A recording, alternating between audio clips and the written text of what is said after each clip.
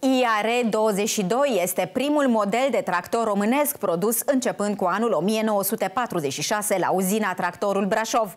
Încă de la început, producătorul postbelic a primit o comandă de 5.000 de bucăți din partea statului. Acum, după atâta mare de vreme, se pregătește să iasă în câmp cel mai nou tractor autohton. Liderul APAR, Laurențiu Baciu, a primit cu multă bucurie această renaștere tehnologică, dar nu este la fel de optimist în ceea ce privește rezistența în timp a acestui produs.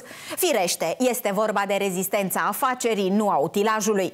Urmăriți un interviu acordat în exclusivitate postului nostru de către șeful acestei ligi a producătorilor.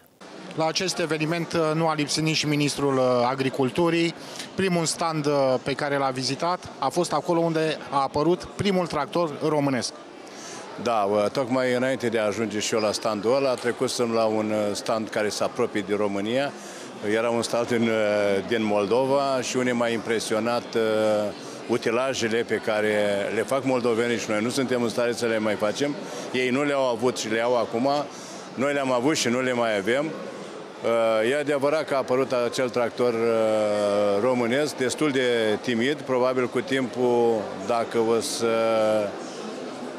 știu eu, o să și introduc um, puțină, mă rog, uh, automatizări pe acel tractor, va putea să să concureze cu celelalte de pe piață și cred că mai toți fermierii s-ar îndrepta spre un produs românesc, dacă bineînțeles și performanțele sunt apropiate de cele care ne vin de afară.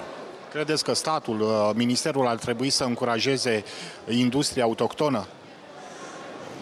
Lucrul ăsta trebuie să-l facă de la început, adică practic trebuia să fie din 89 o încurajare permanentă a produsului românesc. Din păcate, a fost o încurajare a distrugerii produsului românesc și chiar dacă după 30 de ani începem uh, să ne trezim, cred că e târziu și chiar dacă n-ar fi târziu, după cum ne-a demonstrat timp de 30 de ani guvernanție, că noi nu putem dezvolta nimic, nu putem atinge performanța numai cu promisiuni. Dar se fac multe promisiuni în momentul de față, s-au făcut chiar și astăzi. Uh, da, nu sunt străin de ele, dar eu vă, uh, vă spun ca uh, practicant al acestui domeniu e că agricultura cu promisiuni nu o să poată să facă niciodată, așa că de câte ori vedeți o promisiune fără acoperire, să știți că nu ajută cu, cu nimic.